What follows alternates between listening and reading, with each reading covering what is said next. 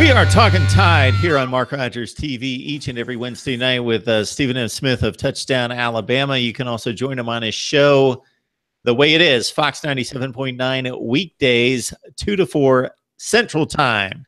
Stephen, for the first time in quite some time, going back to the last week of August, we don't have a game to talk about specifically concerning the Crimson Tide. The Auburn Tigers took care of that.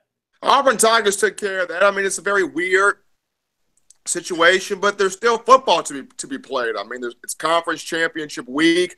Uh, our beloved college football playoff committee uh, bringing up the new rankings on Tuesday and some innings in those rankings. It's the Crimson Tide dropped dropped from one to five, so still hope. I mean, if you are if you are trying to jump off the ledge, don't jump off the ledge. There is still hope.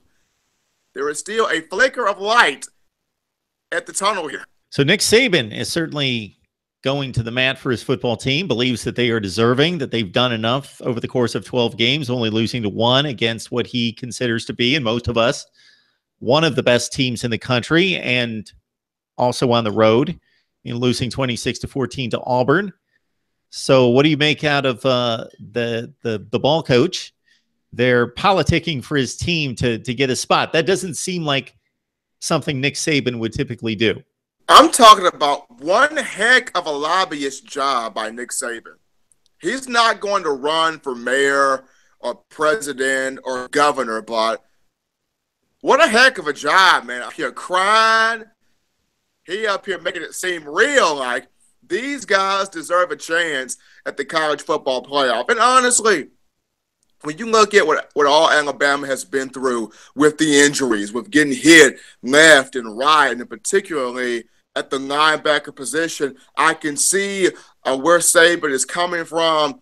But at the same time, uh, it's at the hands of the college football playoff committee. And uh, Alabama, it needed to win against Auburn, needed to win to keep things in order did not win, but a blessing in disguise that it didn't win because now you can get some players back healthy, and should chaos continue to ensue, which is what Alabama would love to have happen and what it desires to have happen, more playoff, more chaos ensues, and you have a chance to somehow get yourself back in the driver's seat. So when I think of Nick Saban's politicking, one heck of a lobbyist I would not expect that from him or sophomore linebacker Mack Wilson, who has been very adamant on social media.